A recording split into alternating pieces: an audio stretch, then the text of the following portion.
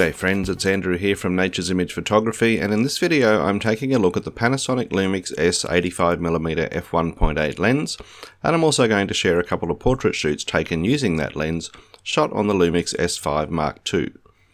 Now my subscribers know I'm mostly about landscapes and wildlife and since I've had the full frame camera with just the 20 to 60mm lens, it's played a big role in my landscape photography but occasionally I dabble in a bit of portrait photography, and last year I had the chance to grab the 85mm for my occasional model shoots around the Sunshine Coast.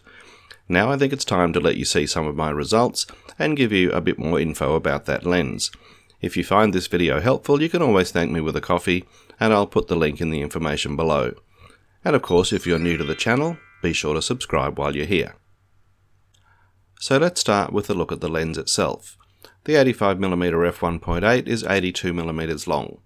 Now if that doesn't mean that much to you, well it's just a fraction smaller than the kit 20-60mm lens that came with my S5 II. So if you've used that lens then you'll have a good idea of the size of this prime lens. It has a magnesium alloy body, and at just over 350 grams it's surprisingly lightweight for a lens that is also built to be dust and weather resistant. The minimum focus distance is 80 centimeters, which is great for a good close-up portrait photography, but not nearly close enough for this to double as a macro lens.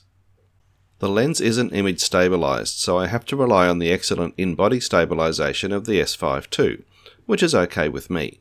I do most of my shoots outdoors, and at f1.8 my shutter speed is generally so fast that camera shake really isn't an issue anyway.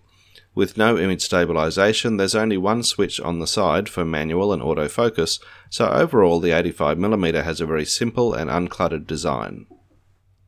To complete the package, you also get a good quality lens hood that's deep enough to block out nuisance light flare and a few drops of rain. Like all my Panasonic lens hoods, it's easy to attach and it clicks firmly into place. And it'll stay firmly in place until you press the quick release button on the side. Like everything else about this lens design, it's not flashy, but it gets the job done. And now let's look at the actual lens performance, and I have to say it does a great job combined with the new hybrid AF system on the S5 II. The lens is silent. When I track my subject in AFC, I can't feel or hear the focus motor working, but it's smooth, fast, and accurate.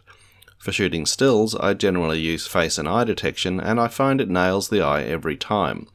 I've been known to take hundreds of photos over a couple of hours at a photo shoot, and as I look through the images I'm hard pressed to find even one or two where the focus hasn't locked onto the eye, even when there's lots of interference around the eye like in this shot here. I read one review about the 85mm f1.8 that said the lens can almost be too clinically sharp, and I guess looking closely at some of my photos I can see what they mean. The images can be so clear that I often find myself having to reduce the clarity in my editing to put a bit more flattering softness back into some of my portraits. And having said I use face and eye detection for most of this work, I should mention there's an exception to the rule. Occasionally, usually when the subject is a bit further away and not always looking straight to camera, I find the focus can drift away from the subject. In those situations I simply switch to the more general human detection autofocus mode and the problem pretty much goes away.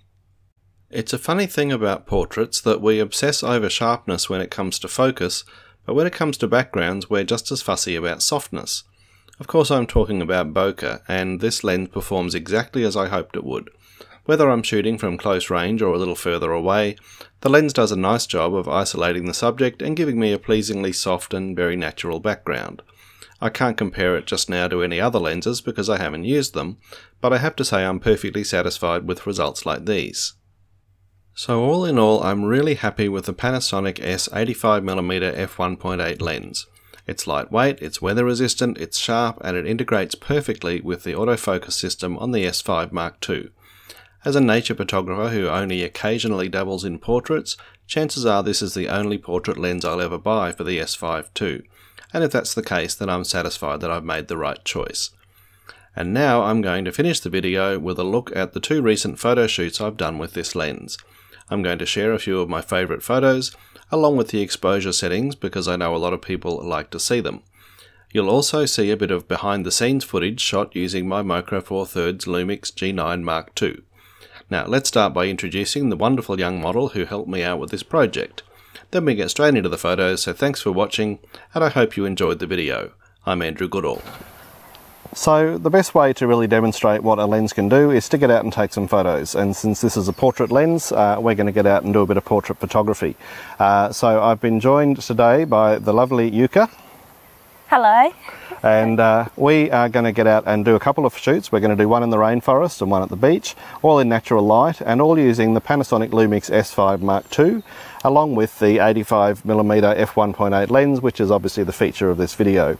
Uh, so all the photos you're going to see are taken on this lens, with the exception of this clip you're looking at now and the behind the scenes stuff, uh, which were, is all taken on the Lumix G9 Mark II.